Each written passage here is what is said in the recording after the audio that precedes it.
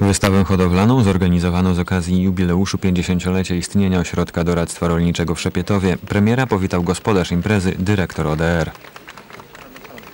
Serdecznie Pana witam w Ośrodku Doradztwa Rolniczego w Szepietowie. Jest to dla nas wielki zaszczyt, że tu i teraz możemy gościć pana premiera III Rzeczypospolitej. Premiera witano kwiatami, wręczono mu także wyroby twórców ludowych. Wspaniale, no to jest piękna wiązanka, rzeczywiście. Takie rzadko y, zostaje, to rzeczywiście wielka niespodzianka. Proszę do nas częściej przyjeżdżać zawsze. Wspaniała sprawa, kochani, no to to jest cudowna rzecz. Dziękuję. Dziękuję pięknie. No, wobec tego, ten, proszę Państwa, ja chciałem Państwu powiedzieć, że ja y, całe dzieciństwo spędziłem na wsi. I ja naprawdę jestem zainteresowany tym, co tu zobaczę. Y, I mam nadzieję, że zobaczę co nieco. No ja myślę, że na pewno, panie premierze. Doskonale. Wszystko przecinamy. Jest. Premier Jerzy Buzek z zainteresowaniem zwiedził wystawę, na której oprócz rolników, hodowców zwierząt zaprezentowali się także przedstawiciele firm współpracujących z przemysłem rolnym i spożywczym. Premier Buzek podczas spotkania z rolnikami z województwa łomżyńskiego przedstawił najważniejsze założenia projektu reformy polskiego rolnictwa. Mówił o planach polskiego rządu zmniejszenia importu zboża, dotacjach do nawozów i tanich kredytach dla rolników. Zdaniem premiera rolnicy, którzy stworzą nowe miejsca pracy mogą liczyć w przyszłości na zniesienie podatku dochodowego. Szybko zareagowali nasi rolnicy na przemiany rynkowe, które rozpoczęliśmy 10 lat temu i trzeba to jasno powiedzieć, że rolnicy nie boją się zmian, obawiają się jedynie niepewności i braku jasno wytyczonego celu, do którego należy dojść.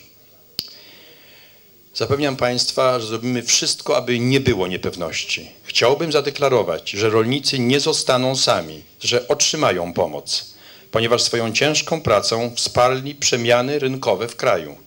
Teraz powinni otrzymać wspomożenie od nas wszystkich.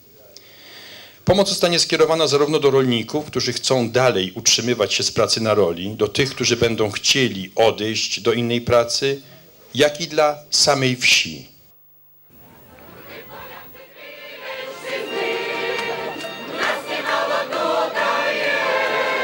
Zorganizowano z okazji jubileuszu 50-lecia istnienia Ośrodka Doradztwa Rolniczego w Szepietowie.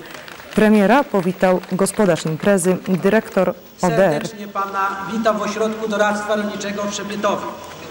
Jest to dla nas wielki zaszczyt, że tu i teraz możemy gościć pana premiera III Rzeczypospolitej. Premiera witano kwiatami, wręczono mu także wyroby twórców ludowych. Wspaniale, no to jest piękna wiązanka, rzeczywiście. Takie rzadko y, zostaje, to rzeczywiście wielka niespodzianka. Proszę do nas częściej dziękuję. przyjeżdżać zawsze. Wspaniała sprawa, kochani, no to to jest cudowna rzecz. Dziękuję. Dziękuję pięknie. No, wobec tego, ten, proszę Państwa, ja chciałem Państwu powiedzieć, że ja y, całe dzieciństwo spędziłem na wsi. I ja naprawdę jestem zainteresowany tym, co tu zobaczę. Y, I mam nadzieję, że zobaczę co nieco. No ja myślę, że na pewno, panie premierze. Doskonale. Wszystko przecinamy. Jest. Premier Jerzy Buzek z zainteresowaniem zwiedził wystawę, na której oprócz rolników, hodowców zwierząt zaprezentowali się także przedstawiciele firm współpracujących z przemysłem rolnym i spożywczym. Premier Buzek podczas spotkania z rolnikami z województwa łomżyńskiego przedstawił najważniejsze założenia projektu reformy polskiego rolnictwa. Mówił o planach polskiego rządu zmniejszenia importu zboża, dotacjach do nawozów i tanich kredytach dla, dla rolników. Zdaniem premiera rolnicy, którzy stworzą nowe miejsca pracy mogą liczyć w przyszłości na zniesienie podatku dochodowego. Szybko zareagowali nasi rolnicy na przemiany rynkowe, które rozpoczęliśmy 10 lat temu i trzeba to jasno powiedzieć, że rolnicy nie boją się zmian, obawiają się jedynie niepewności i braku jasno wytyczonego celu, do którego należy dojść.